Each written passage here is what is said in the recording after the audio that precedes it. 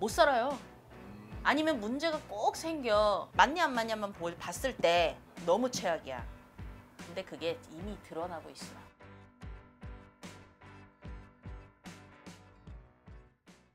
궁합이 안 좋아요.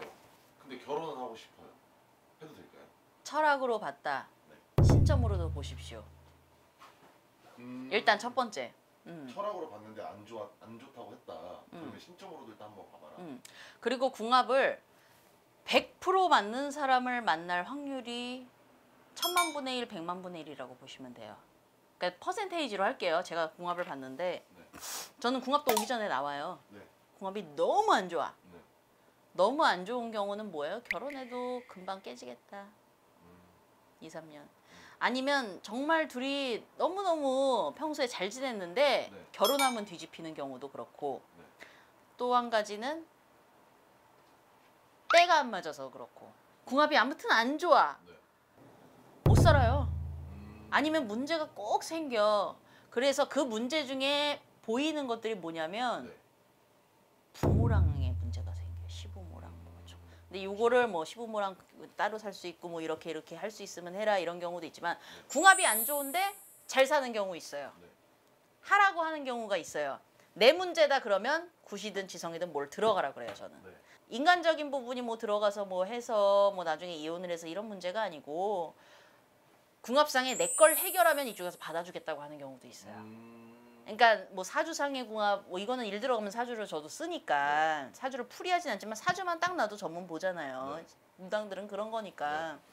근데 사주로 아무리 봐도 자꾸 궁합이 안 좋대요. 저희 너무 잘 맞는데요. 결혼하면 뒤집어질 이유를 무당이 뽑는 거거든요. 음, 그쵸. 그런데 시집을 갔어. 있는 사람한테 가고 괜찮았어. 근데 결국에는 밥순이가 돼. 그러다 보니 힘 이래저래 하고 힘들어지고 남자가 바람 날 거다 이것도 궁합에 나오거든요. 네. 나밖에 몰랐어도 힘들어. 맞고 갈 수 있는 경우는 맞고 가라고 하고 네. 하지만 죽었다 깨나도 안 된다 하잖아요. 자 얘기를 해드릴게요. 그게 나와 있어. 그리고 딱 해서 이 사람하고는 이게 안 돼요. 이유는 이러 이러 이렇습니다. 본인이 이렇게 됩니다. 네. 그리고 아니면 상대방이 이렇게 되는데 본인을 바꾸십시오. 네. 이게 궁합이 안 맞는 경우죠. 맞춰줄 수 있을 땐 일을 들어가자고 하지만 맞냐 안 맞냐만 볼- 봤을 때 너무 최악이야. 근데 그게 이미 드러나고 있어. 음, 그러면 저는 그 부분을 얘기를 하게 해요.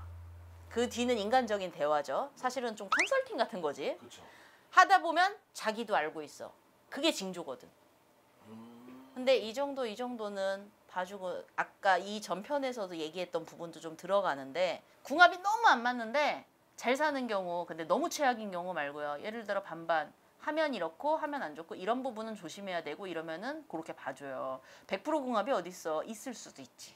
전생의 인연이 다시 만난 경우도 있고 궁합 안 좋아도 잘 맞추는 경우는 뭐냐 상대방에 대해서 이해해서 내가 맞춰서 그 사람의 마음 끌어내는 거예요. 그렇죠. 일단, 일단 여기까지 해보고 뒷이야기 나중에 하도록 하겠습니다. 아 하- 맞아요. 이걸로다가 100편은 찍어줄 수 있는데. 나 그리고 시집 되게 잘 보내는데 일해야 될 사람들 왜 결혼이 중요하다면서 일을 안 하는 걸까? 사람도 보이는데. 오케이.